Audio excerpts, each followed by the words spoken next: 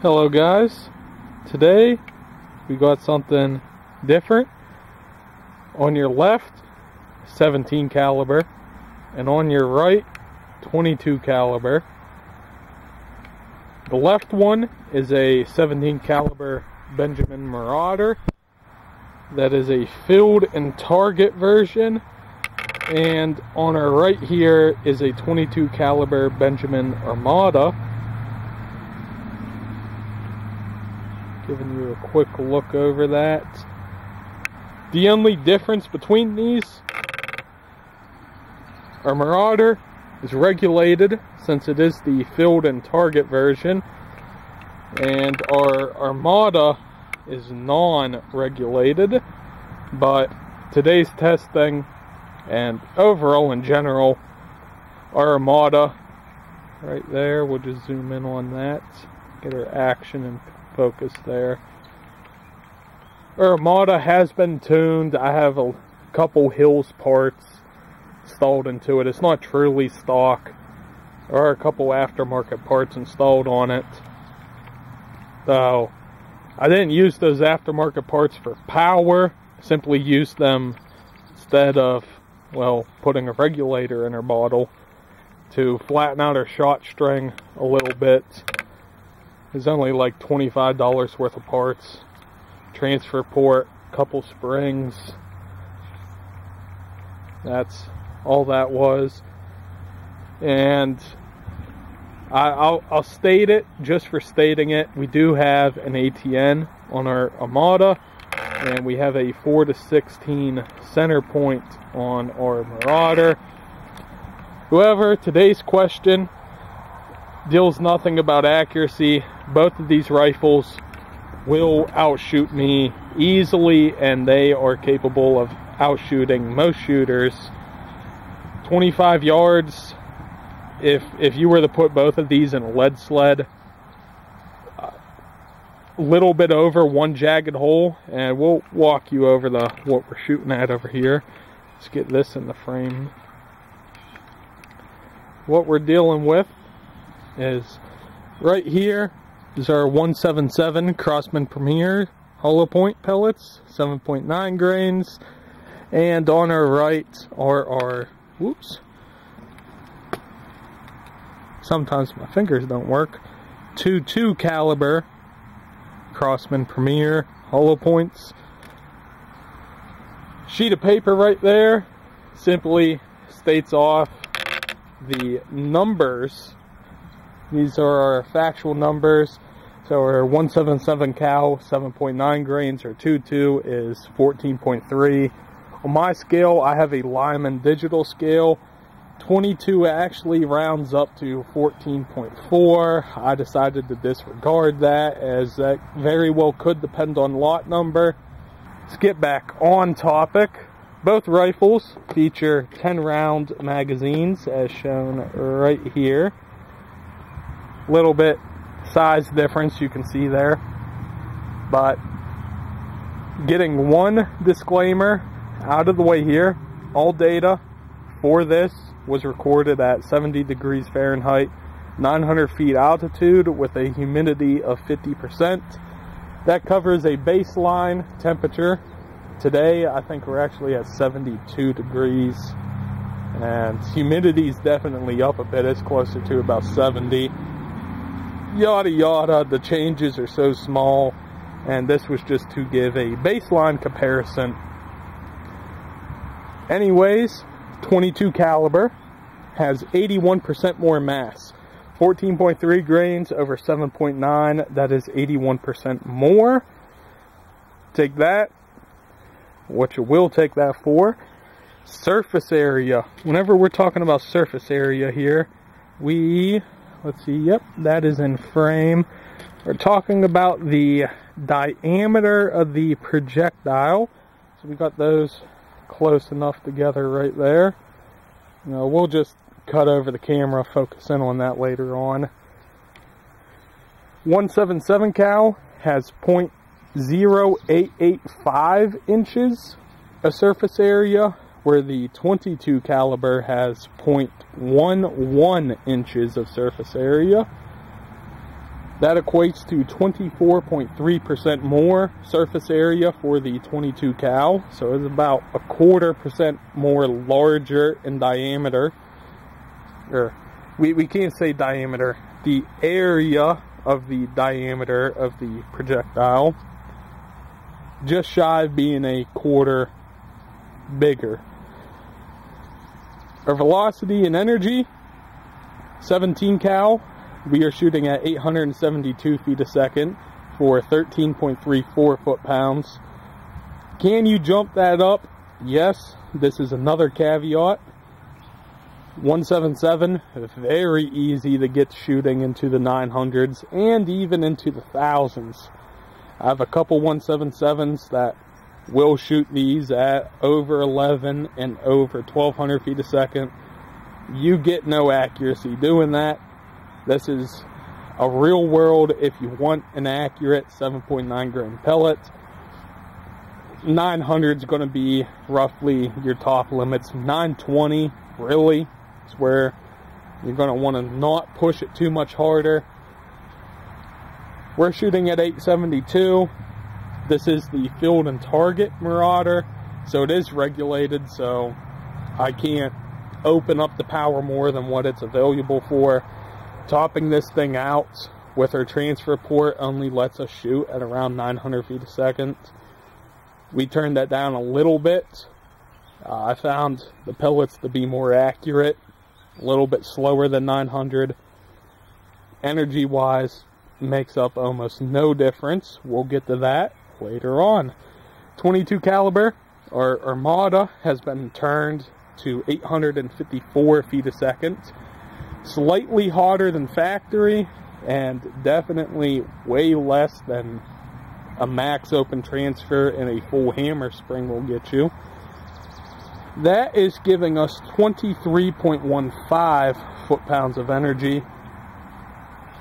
The 22 provides 73.5% more foot-pounds of energy, whereas her 177 pellet is going 2.1% faster out of the muzzle. Now we're getting in the drag coefficients.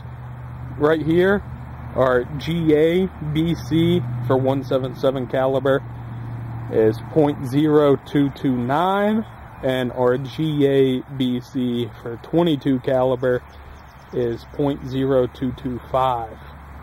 These have been measured over the course of a couple days at a range of 25 yards from the muzzle. Being that 177 is a higher BC and is traveling faster, it will produce less downrange drop. Both of these rifles are sighted at 25 yards. Let me point that out. It'll produce less drop, though the amount of drop very small. We'll get to that. So, as we're getting to that, 25 yards or 177 is now going 756 feet a second or getting us 10 foot-pounds of energy for my UK viewers out there, this is more your lines of what you guys are working with with your 12 foot pound limit without getting a FAC. 22 cal, 741 feet a second, or getting 17.4 foot pounds of energy. This leaves us, our 22 is 2% faster again, and our 22, or let me take that back here. 17 cal is 2% faster. 22 caliber now has 74% more foot-pounds of energy.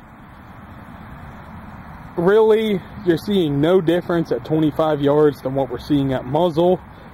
Going to 50 yards, 17 caliber, 665 feet a second, 7.8 foot-pounds. 22 caliber, 652 feet a second for 13.3, uh, 13.5 foot pounds. This 17 cal, again, 2% faster. That very slight BC has not really pulled any velocity advantage that's measurable for us. It is measurable on paper. In the real world, you're not going to notice that extra 10, 15 feet a second. It's no. Our 22 now has 73% more foot-pounds of energy.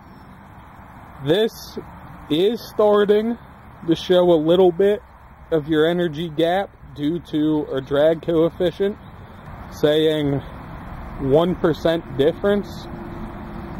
1% of 100 is 1. 1% of 10 is 0.1. Very minute differences. At 100 yards, our 177 will be traveling at 522 feet a second and getting us 4.8 foot-pounds of energy. Our 22 will be going 509 feet a second and taking 8.2 foot-pounds of energy. This is where that BC does start to gather a little bit more. Our 177 is now 2.6% faster. Had to read my handwriting there. 2.6% faster. That out of the way, let's swap over to our actual testing here. Paper stuff, it's easy to do paper stuff, but what you don't see a lot of people doing, we're going to shoot these into some gel blocks and actually see what the real world difference is. Both of these are hollow point pellets. Both of these are how I myself and others you will commonly find shooting these calibers at said velocities. We'll get a shot at muzzle. We'll scoot back to 25 yards. We'll get a shot into the block at 25 yards. We'll compare, see any difference. Going off of our paper, 25 yards really did not show much difference than muzzle, though it did allow both of them to slow down a good 100 feet a second we'll we'll just have to see. This first time I've ever shot either of these into ballistics gel. This is calibrated 10%.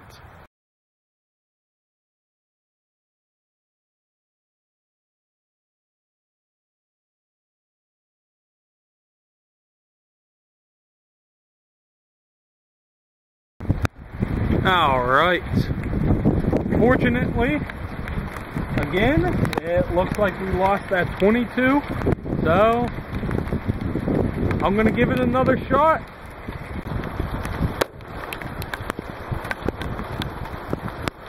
We actually captured our 22. I know our camera, you guys probably did not see a thing out of that. It, it is coming down out here right now. But I, will just, uh, let's see I'm to wipe that lens off.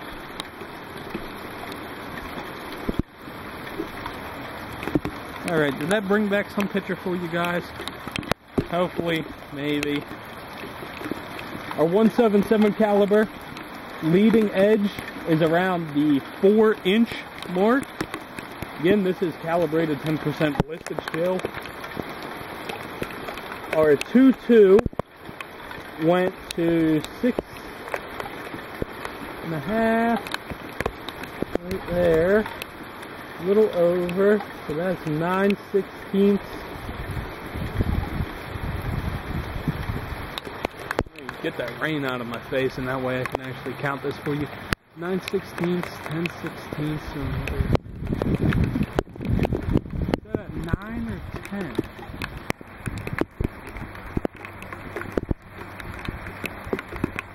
We're gonna call that six and five eighths of an inch. I do believe that is 10 16. One, two. Uh, we'll, we'll call that six inches and five eighths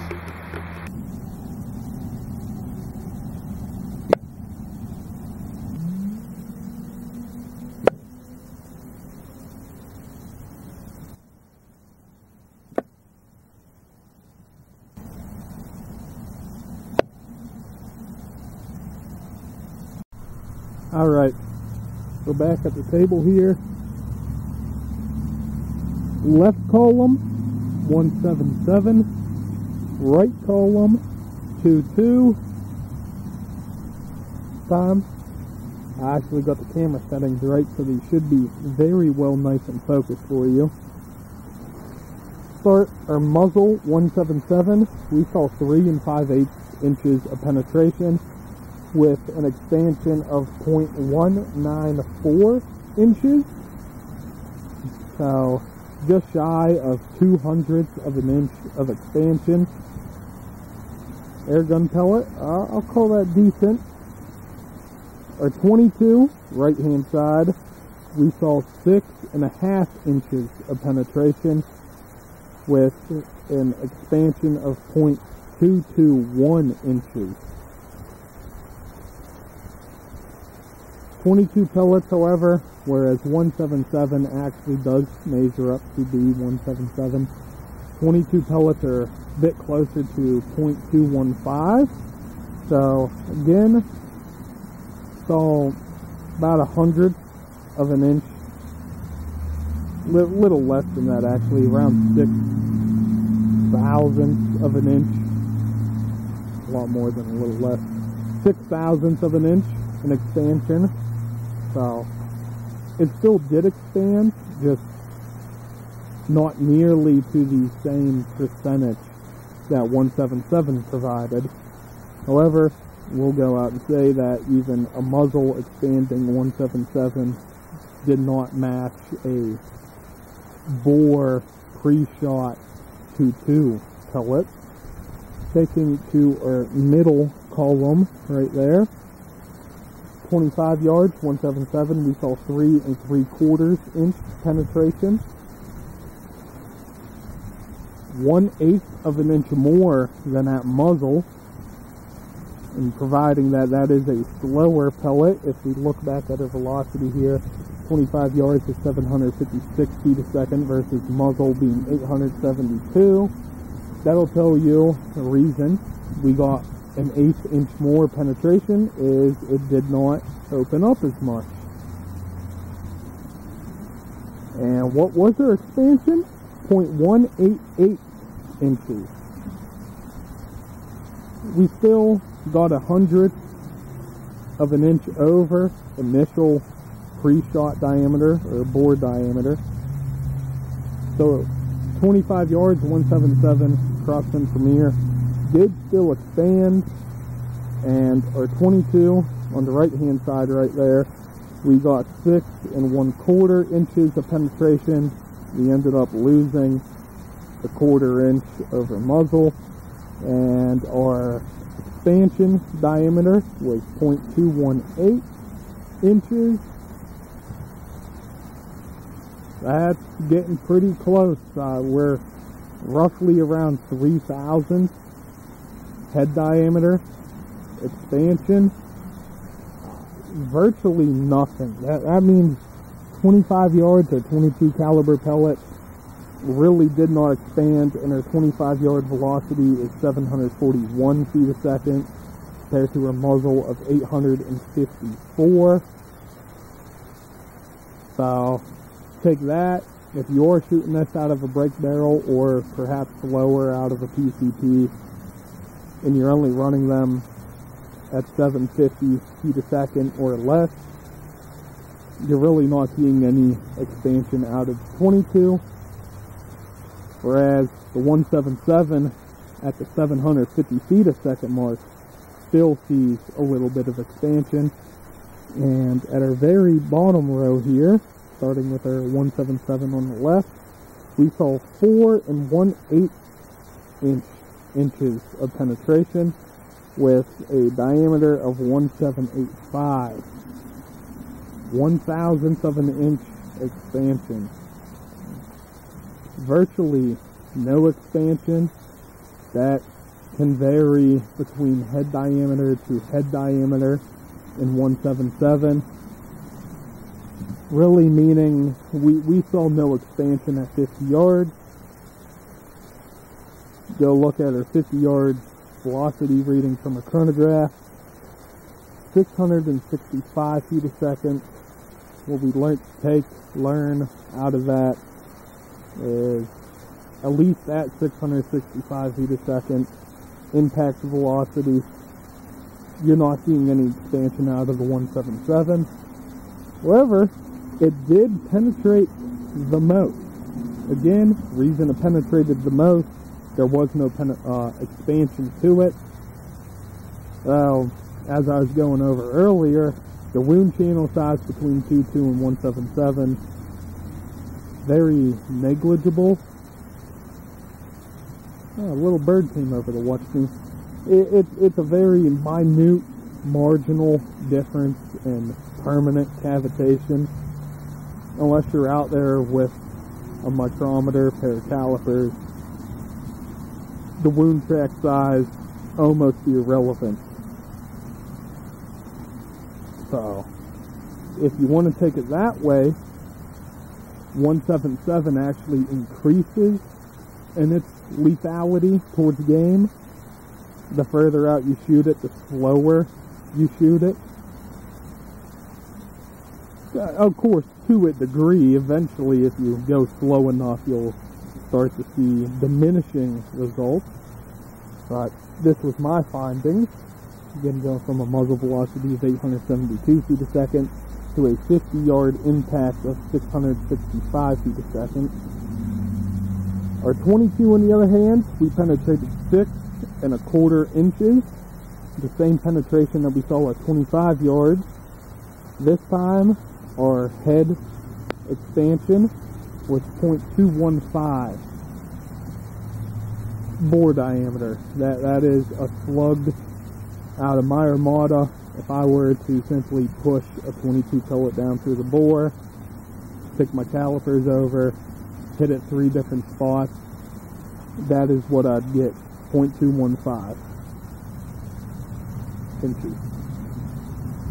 Meaning 50 yards with the 22, we also saw zero expansion, but we are two and one eighth inches more of penetration.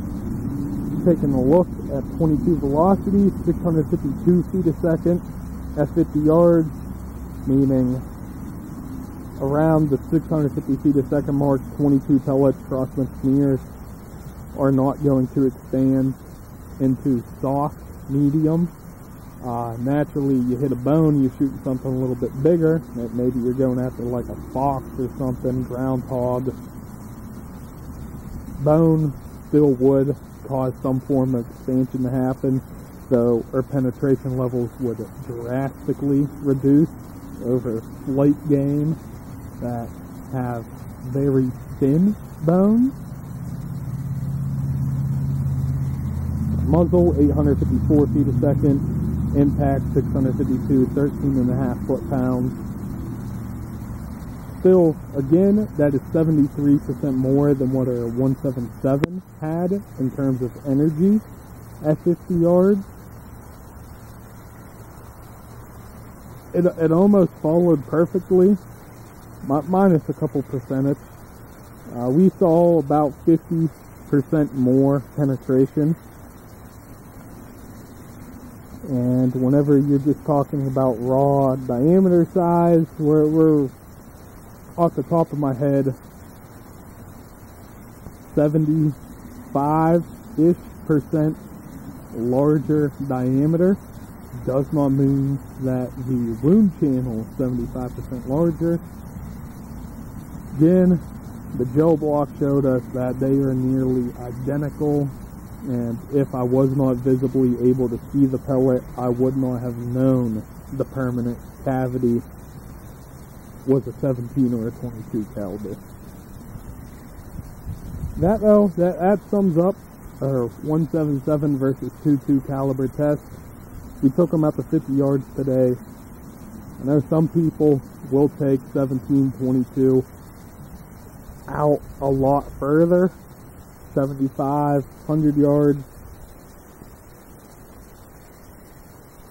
Based off of what I saw, I, I was thinking about it, but purely based from what I saw going out to 50 yards, 25 yards was the real one for me.